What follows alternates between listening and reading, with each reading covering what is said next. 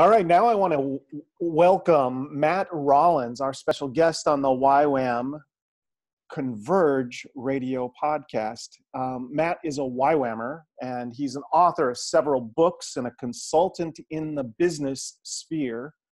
Um, among others, his books include The Green Bench, a dialogue about leadership and change, and a sequel, apparently, Humility, uh, The Race, How Do You Prepare Yourself for the Unknown? A lot of books about uncertain times. I hope that Matt will share us a little a little bit about that. So I've really been looking forward to this conversation, Matt. Um, welcome. Uh, would you give us a little, you know, uh, just to our little listening audience, a little more information about yourself and tell us yeah. about um, the consulting agency or what it is that you do?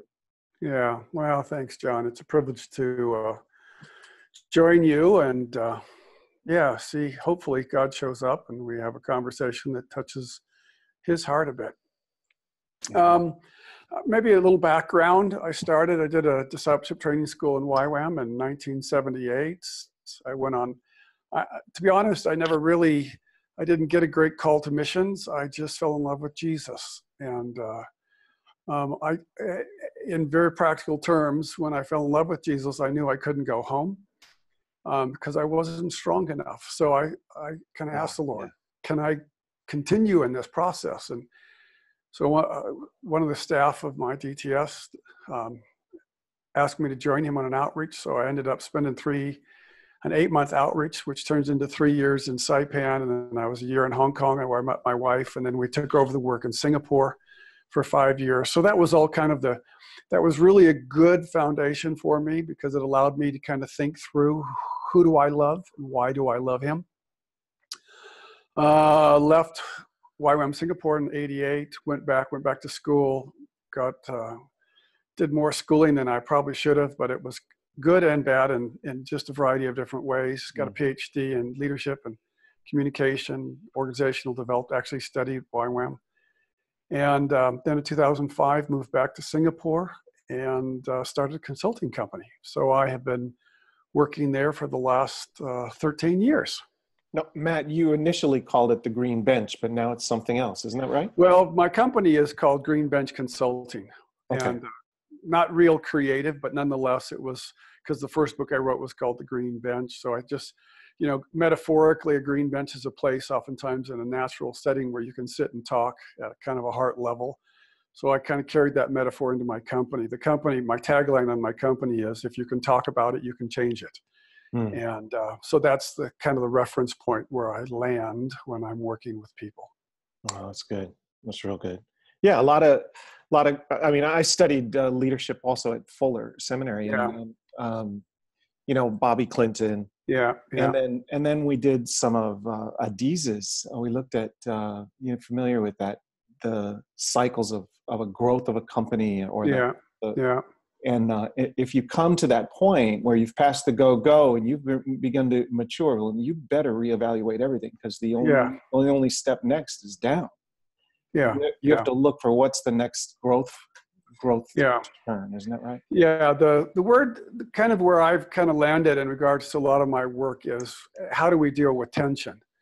Um, I, I, find that more and more that's kind of a bigger um, an emotional tagline. And uh, and oftentimes it's those tension points and transitions that either allows us to be able to move forward or gets us into trouble. So yeah I'll, i reference it not around growth cycles directly although those are very valid and real I, I, i'll reference it around tension points when we hit a tension point we know that we're in either a, an opportunity or if we don't pass it we'll go around and come back to it again so uh-huh. yeah those are common things. All right. Yeah. Well, we met, I think, the first time, perhaps Kona briefly, and then Burtigny a little bit more. Yeah. I believe at one of those, uh, either yeah. a wet paint event or yeah. something like that. Something like that, yeah. so, but you were you were involved with YWAM's University of the Nations and the College of Communications primarily, isn't that right? Uh, yeah, I would do a lot of stuff with Landa, and uh, we did some workshops together, and that's kind of been the place where I fit in after I kind of left full time. yeah. Uh, I still spend two or three months a year doing some training and teaching, but yeah. Yeah. Well, my my question is this: it's really twofold. It's um, how did the experience working with the University of the Nations and in your experience with Youth with a Mission benefit you where you are now? And yeah. How might those who are in that place at Youth with a Mission or in that kind of that that valley of decision do i go into ministry or do i go into business? Yeah. and where is it most appropriate for me? And should ministries be talking about changing nations through business or should they just release their people to go do it oh multiple questions. Let's go back to the first one. I'm i can't hold i'm still on a bit of jet lag. So what what what's the first question again? I'm sorry. Yeah. So how did that experience benefit you? Yeah. Well when i when i fell in love with god i think the thing that really really helped me was i did a uh, particularly in Saipan, I would wake up early every morning and I'd get out a Strong's Concordance and a notebook and my Bible. And I began to study the character of God. So every place where the word righteousness is mentioned, I would, in Strong's, I would then look it up and begin to meditate on the attributes of God. And so, um, you know, righteousness and justice are the foundation of his throne. So you get the, the idea that justice is a governmental position that God wants to take. And so I, I, just began to go through all the attributes of God over those years and began to study him. And I, I think that that was absolutely core for me, that I needed I needed a foundation that was strong enough to be able to handle who I was and who God was and how was I supposed to live. So that was that I, I will be forever thankful for that time and space to kind of build in. Love is Love is rooted in knowledge, and knowledge is not abstract. Knowledge is personal. So I had to get to know personally who this God was and what yeah. he thought, what he loved and didn't love, and some of those attributes. So that was really, really foundational for me. I, I, I look back often on those times and think I don't know how I would have survived some of the other challenges that I was confronted with if I hadn't had that. Mm-hmm. Yeah. So for those that are in that place where they're in the mission or in ministry and they're sensing that maybe God wants them involved in business. What's your yeah. what's your word for them? Yeah, well, you know, it's been kind of an interesting journey because I, as much as we talk about it, you know, after my, well, with the 10 years, then I was with YWAM later after that. So probably 15 to 20 years of actual time with them. You, you develop kind of an emotional arrogance. I, I, I, don't know how else to say it because you haven't, as you're involved in ministry, you, you feel superior. And I, I don't really like to say that, but I, I think that's part of what unconsciously um, you, you get a sense of that, wow, I'm doing ministry, that must make me more lovable or more valuable. And it's such a subtle thing that I don't think we ever really recognize it until we leave it or we we step outside of it. So I, I recognize that for many of those years, I, I felt a bit um, superior because I, I, was doing spiritual work and because I was involved in missions or in this ministry. And, and that's not about YWAM, that's really just about me. That was just me growing through that. So so when I when I started to think that maybe there was a different opportunity and maybe you know there were other expressions of faith that that god was laying before me i began to kind of i had to kind of do a little heart surgery to be honest to kind of get really root out this whole idea of the secular and the sacred really root out this idea that um, one aspect or expression of you know as soon as we use the word ministry you automatically think spiritual work and as soon as you use the word business you think of oh just physical labor as um, you know only valid if it's supporting ministry. So all of these kind of subtleties had kind of taken root in my heart and and i realized i needed to kind of uh, part of the process for me was to go back and go no this is not true this is I, I don't see this in the word and i had to kind of take a hold of my own heart and bring it before god and say okay god how do i how do i start to work through this process mm-hmm. Yeah. So the young person, let's say they maybe they're not all that young. Maybe they've been in ministry for a, you know a half dozen or a dozen years and they're saying there's a shift happening in my heart. I'm thinking maybe business. What's your initial yeah. like first couple words for them you think? Well i think go for it. I i, I think the um, I, I, think honestly one of the strengths of YWAM is we're a movement, but I think one of the challenges when leaving YWAM, and I often find that people say, well, I was living in a bubble when I was in YWAM. Mm-hmm. So there's a lot of things that we really have to kind of work through, even as we define what is reality. And I, I mean, I have to say, over these last 13 years, well, even over this last year, if I just take this last year, I've had more heart to heart conversations with people who are not necessarily believers, um, but can connect at a heart level than I did at after five years of ministry in YWAM. So. The the chance to engage people, the chance to have really good heart to heart conversations, because I do executive coaching and variety of different things along those lines. So it it really has given me. I, I find myself more radically in love with God and um, engaging people far more than um, many of my years. Um, you know, either as a base director or a variety of different things. So the I think the the thing to really own, the first thing you always have to own when you're when you're looking at a new direction excuse me when you're looking at a new direction is okay god do i have the faith to do this because the bible is pretty clear there's that which is not of faith is sin and this is a victory mm. that overcomes the world is our faith so there's a mm. There's a faith piece in this that says i have the faith to believe that god is in this and as long as we have that then i think for me that's the reference point that says okay this is this is going to be how god wants to reveal him to me to me um, through this uh, sphere or this aspect that I want to be able to walk into. So that's the, for me, that's kind of a core piece. I, I found myself rising up in faith thinking, you know, where we're really hurting at a national level in many of the nations as businesses are, are um, not being run as, as, you know, you can't really trust business in, in some of the situations that we're confronted with. So yeah, I think all the spheres need salt and light in them. Right. And there's no way to do that unless people are sent into those spheres.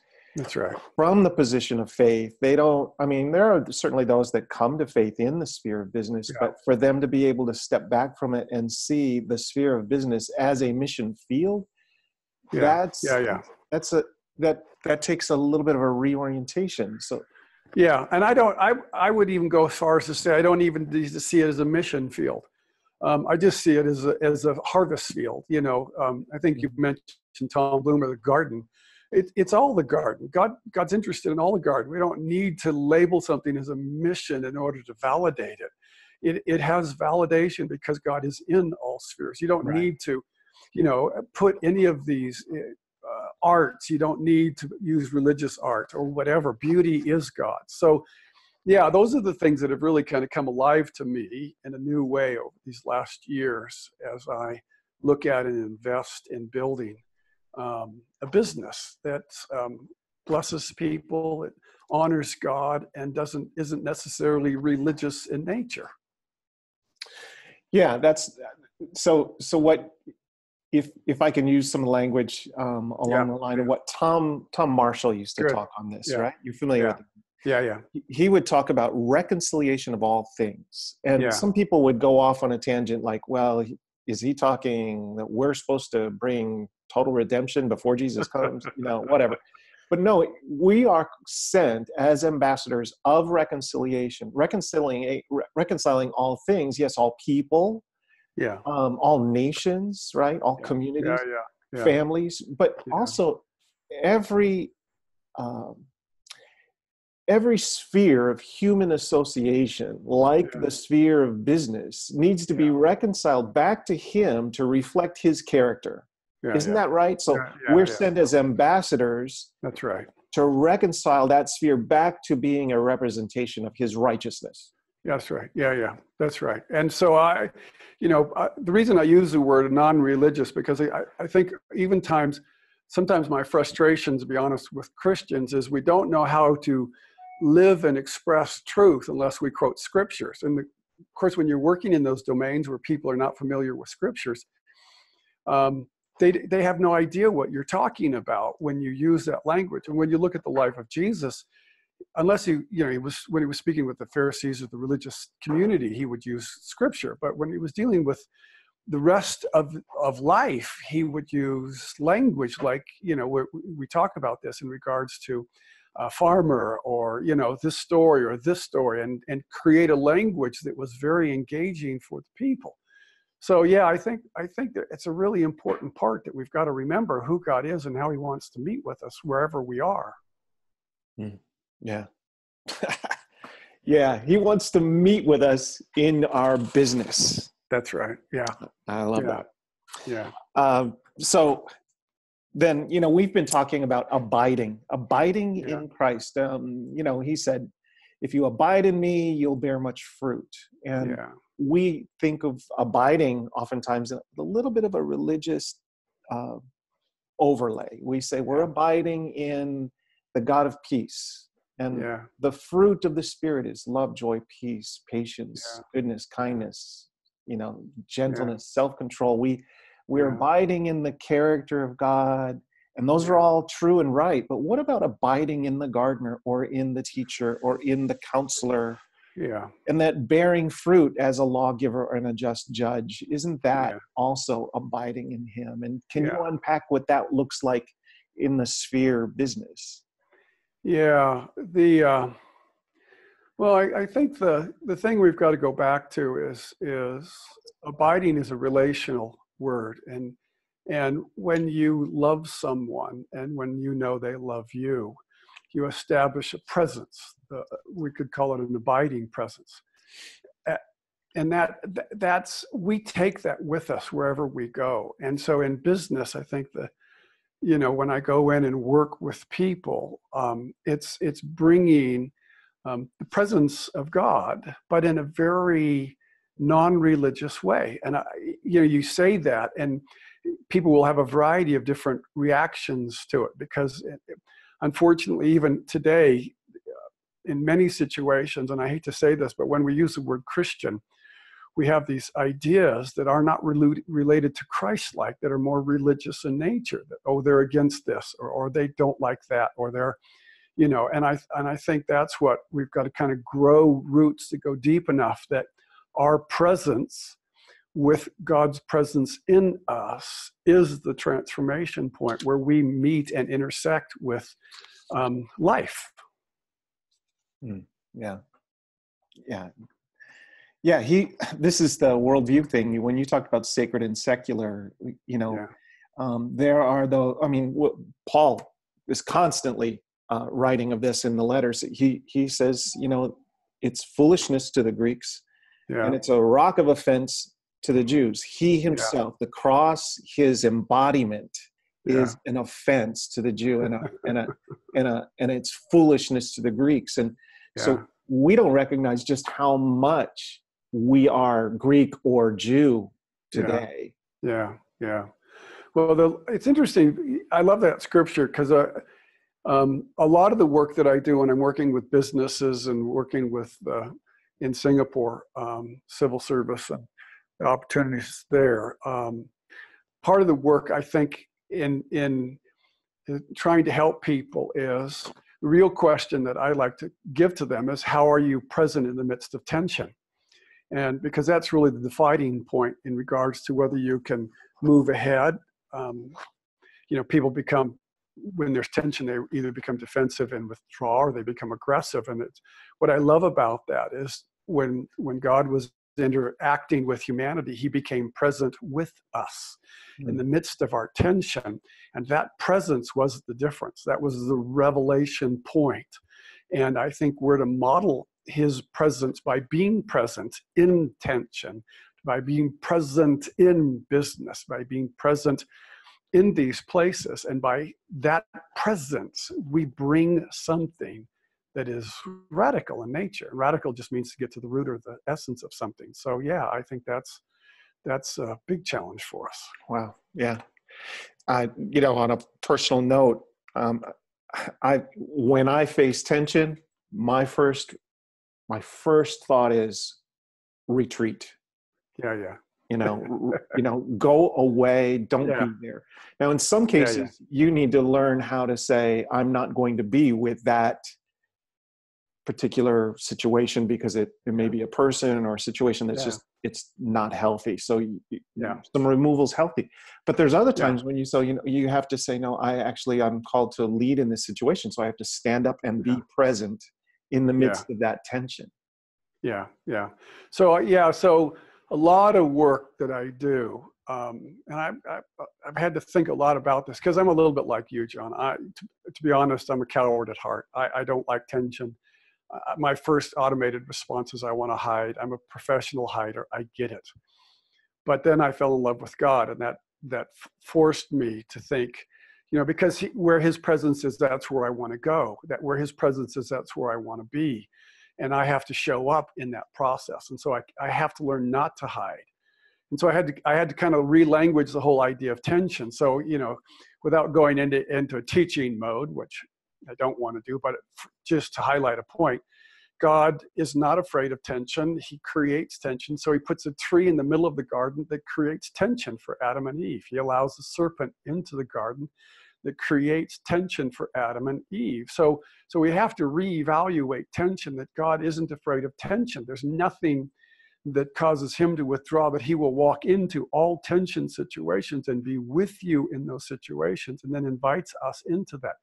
So part of this is relanguaging tension to be able to go, okay, there's nothing to fear in tension because God is present in the midst um, of it with us when we walk into it in faith. So that's I'm that's my reorientating, and you know, as I sometimes jokingly say to myself, I got to put my big boy pants on because the little boy in me wants to hide, but I just got to say, no, I've got to figure out how to walk into this in a way that isn't manipulating or controlling or in denial.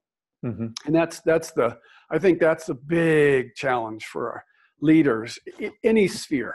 So how do we be involved in business without being controlling or hiding or manipulating? How do we be involved as a father without Yeah. being controlling or manipulating or hiding? How you know i mean? You could pick each of the domains and how do we walk into those um, being present and, and controlling or bringing God, the God of peace, into our emotions so that our anxiety level, so we learn to walk into it in a way that is honoring to who He has called us to be. So that's a huge challenge. I mean, it's the lifelong challenge for us. Yeah. Oh, I I want to carry on this conversation forever. Um, let me let me toss a few softballs at you when Okay. people say business and they um, they say, well, business and mission. Well, you're talking about two different things here, aren't you? And Yeah. um, you know, I've seen those who do mission as business, and I've often kind of wondered, how can you do that? That aren't we supposed to love people? Uh, there's some there's there's some tension there, certainly. Yeah. Yeah. But but but business is often immediately thought of by the typical Christian with these initial scriptures. I'm going to just lob at you, and I'll let you kind of react to them. I'll I'll give you three to start, real quick Okay. ones. Um, first All right. thought is that um, you know I think it's Solomon in the book of Ecclesiastes. He says basically all this business is meaningless. Yeah. Um, so you know there's nothing new under the sun, and what are we doing this for? Um, that's one. And yeah. Okay. Well, let me. I, I won't remember the other. So let me just let me pick Solomon. So Solomon starts off meaningless, meaningless. Everything is meaningless. So he's not picking on a particular domain. He's picking on a life of a man who has 700 concubines and more. You know what I mean? Who's gone into futility and and lost the meaning of life. So he's not picking on any particular domain. He's just picking on a life, and you can. It goes across the borders. All life is meaningless. Um, when you lose the reference point, the plumb line, that that perspective of God, and and he's got some great wisdom, but but he he he lost it in those later years um, because he didn't pay uh, heed to the counsel of God in regards to self control. Mm, yeah. Yeah. So he acquired a lot and he lost. Yeah, meaning. yeah, he, yeah, he because you you know you, you the the power is is a flesh. You know what I mean? What did Billy Graham say? Glory. Um, Well, there's three things. Basically, it was power, uh, sex, and money are the things that will get guys in control. And um, you know, when you start to pursue those, you're moving away from meaning in life, and that's where business is particularly seductive because mm-hmm. Um, we you you can get your eyes on um, distractions or seduction points. And and you if you don't learn the discipline as in any aspect of life you can get yourself into trouble. But that doesn't make it an evil thing. It just means it's an opportunity for the grace of god. Yeah yeah. Uh, another scripture here is uh, exodus 22 where it speaks of uh, charging interest or usury um, that we're not to do that yeah yeah well i love business is built on the whole notion of of yeah wealth through interest yeah, well, I, I think again, I, the, the question isn't.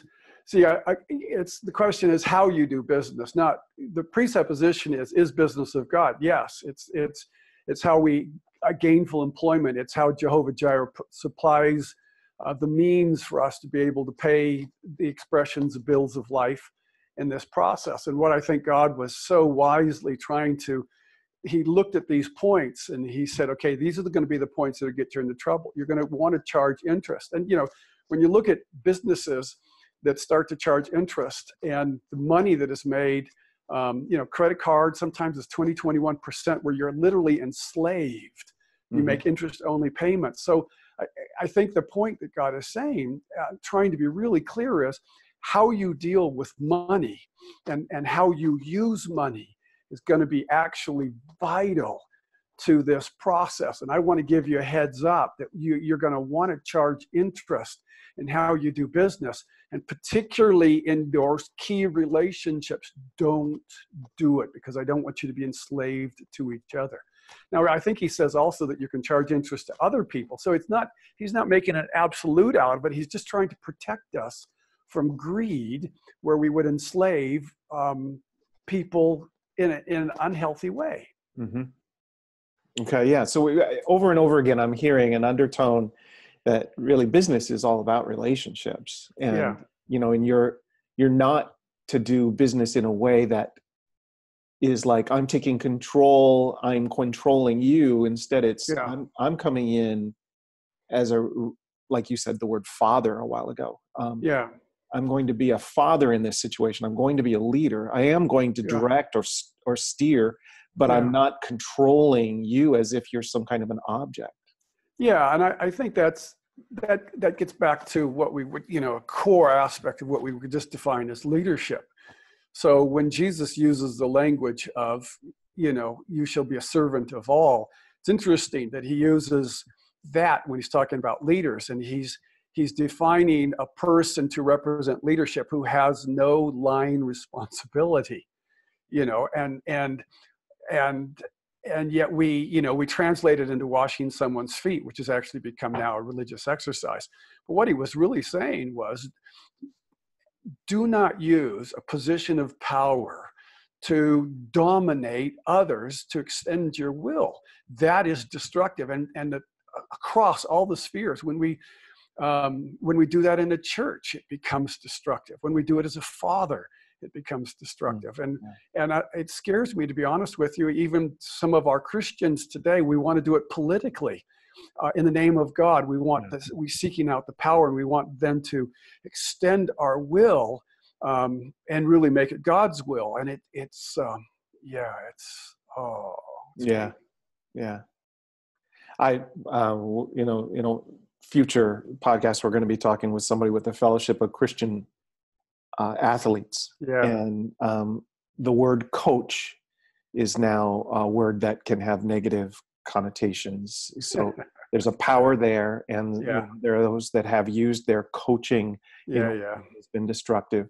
Yeah. Um, yeah. So um, it's not just the sphere of business. This is leadership yeah, yeah, it's it's the basics. It's just it's just people who who won't own their brokenness um, and and bring God into that, and uh, and then they just use it to to just extend their brokenness into other lives. Yeah. yeah. yeah. Now, uh, Ezekiel 27 speaks of a long lament over Tyre and all of her business dealings, you know, Yeah. many products and trading human beings. Yeah. And and what in the same breath it says human beings and articles of bronze. yeah. Everything's been commodified. Yeah, uh, yeah, that's uh, well. God uses God uses anybody, and He uses you know uses nations. He uses donkeys. He uses to you know to accomplish, speak, or correct, or all of these types of things. And I, I think you know when he's talking about Tyre, and I think if you if you're you have to be really careful to say he's. He uses that's a business thing to correct people with in that process. I he uses the nations to correct the nations at times. Um, so yeah, I, I, I think it'd be a hard stretch um, to be honest, because you you know the one of the most talk, talked about um, as far as just if you did a verse count, and I hate to say that, but in the sense of what he's talking about, he talks about business probably more than any other sphere. Um, as you start to look at um, his word through the Old Testament and how he was trying to train the Jews in, in regards to the values and what he what was important and these type of things. So you you you know you've got to go back and take the whole counsel of God and and look at what he was trying to impart to us.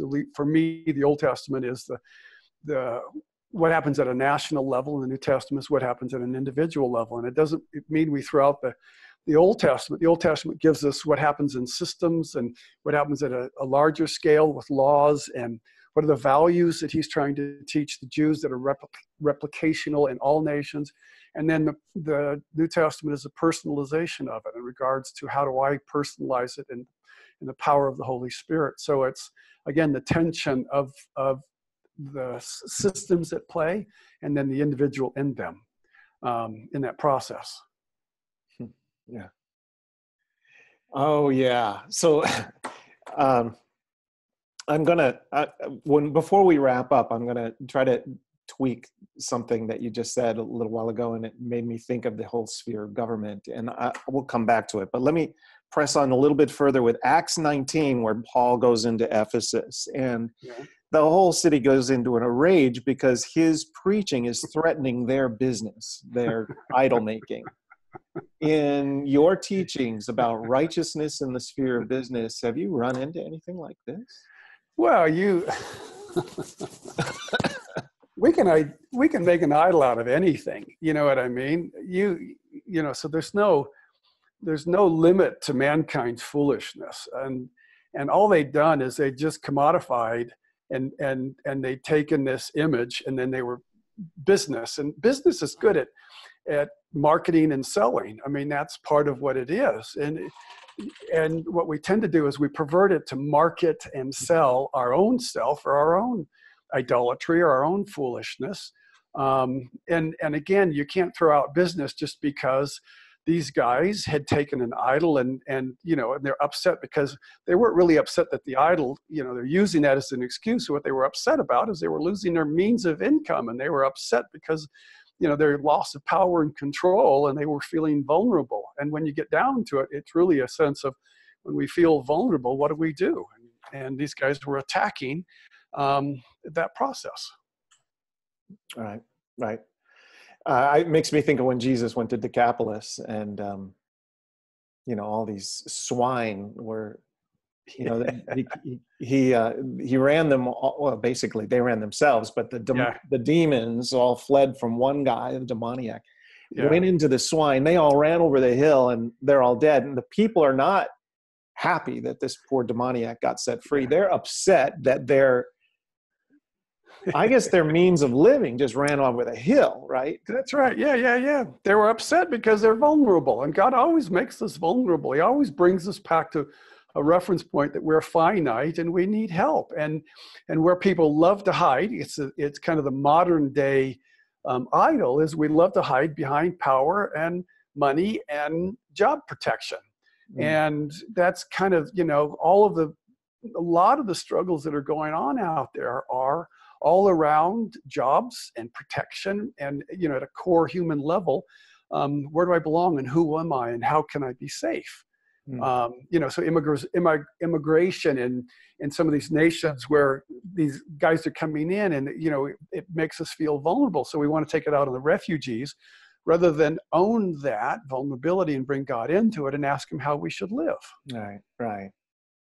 And that really leads to the next scripture uh, from First Thess- Thessalonians four eleven, and this is this can be interpreted in a way that says go ahead and retreat into your kind of church or religious enclave. It says make it your ambition to lead a quiet life. You should mind your own business and work with your hands just as we told you.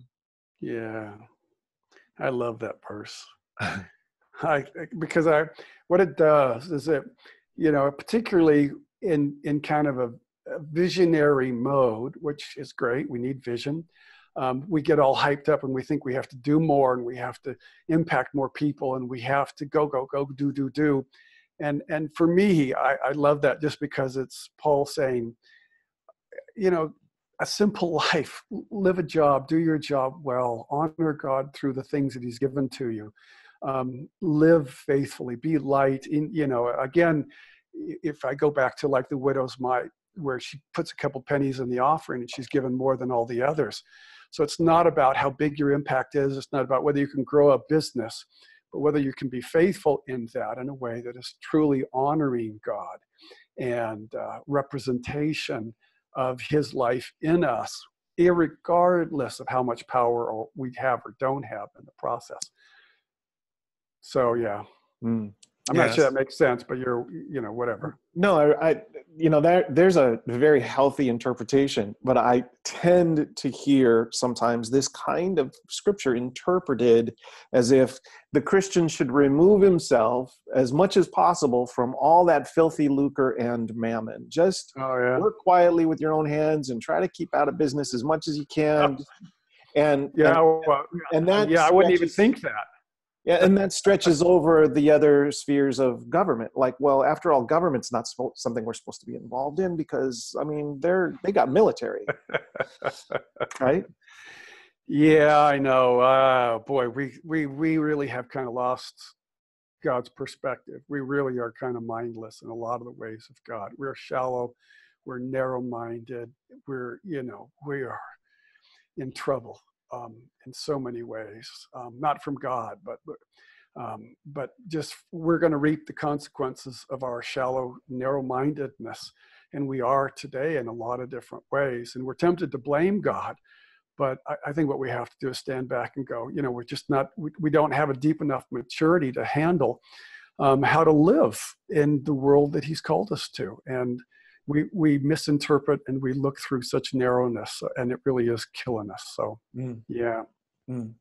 yeah so again it's about being a relational being somebody that's yeah. made in the image of god that um, yes has the fruits of the spirit love joy peace patience yeah yeah gentleness self-control but in the spheres where yeah, you're doing right. business you're you and you are in government and yeah that's right uh, we are to be salt and light in all these places. Yeah, yeah.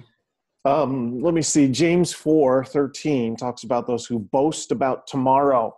He says, yeah. uh, Now listen, you who say today and tomorrow we'll go this city, that city, you know, spend a year there, carry on business, make money. Um, sounds like a rebuke. Yeah, it does. Well, I, again, you, the, what he's trying to get to is where, where do we find our security? And, business isn't intrinsically evil and it is intrinsically good. It just is. And we can bring evil into it or we can bring good into it as we can all things. Being a father isn't good or it isn't being bad in the, in the automatic mode, in the role mode. It's just what we bring into it. And so, you know, when we start to say, well, I'm, I have enough money to be able to, or I have enough position to be able to say, this is what's going to happen the next days, and I, I can kind of project my will out into the future. Um, that can get us into trouble because what we're relying on is our will. And I think you go back to abiding, what God wants to teach us to is to abide in Him and look for His will being done. That that we would trust him in the moment by moment, the day by day, the week by week, to be able to say, okay, you know, a cycle, business cycle goes through, there's a slump or a, you know, we hit a, a, speed bump or something else goes on, we've got to use that and say, okay, God, how do you want me to walk into this? I don't have anything to be afraid of. Um, and I, I, will walk with you through this. So, yeah, I, again, you, it, it's for me, it's a little bit hard pressed to be able to for you know uh, again a lot of times what gets us into trouble when we interpret the bible isn't what the bible said. It's the it's the presuppositions that we bring into our interpretation of it. And that's really where the heart work has to go on um, because your you your presuppositions help to define how you interpret a certain verse rather than taking the whole counsel of god and what does his character attributes say about it from genesis to revelation. right, right. yeah so the the whole purpose of this podcast is um, basically following through in this motto of youth with a mission, which is to know God and to make Him known. We want to make yeah. Him known in every sphere. We also need, in order to do that, to really know Him after His character. And um, yeah. it's it's a privilege to have you on this podcast uh, discussion today, Matt.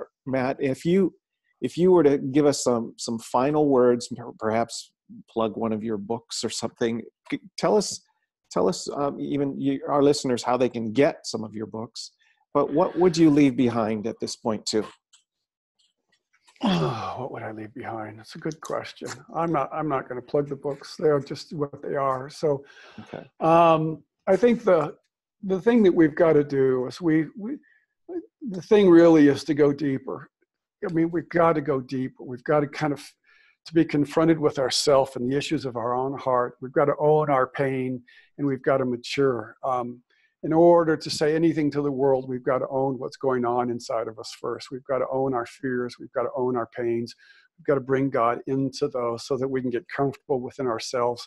So that then when we go into these different places where there's a lot of brokenness, we don't react to it by being controlling or in denial, but we can just speak to it in love and be honest and vulnerable and engaging with those that God has called us to. And I think that's the that's the piece that's closest to my heart is we've got to the church, the body has got to uh, grow up.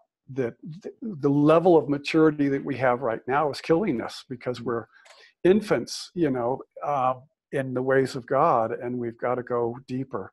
And in going deeper and in bringing God into a depth in our lives, I think we'll find a, a freshness, maybe a reformation, but a, a, newness of life. And I think that's the thing closest to my heart right now. Amen. Yeah. Well, Matt Rawlins, thanks so much for taking the time with us today. I uh, hope we can meet again at some point in the in the future. Uh, my travels have been limited of late, but uh. Uh, we'll have to we'll have to connect again sometime in the future. Grateful for your time with us today. Well, thanks, John. And I, I trust there's a thought in there somewhere that God could use. But it's been a pleasure to hang out with you and anybody who'd care to listen and uh, be with you for this uh, section of time. And, and uh, again, thanks. Amen. Thanks again. Bye bye. Yep. Bye.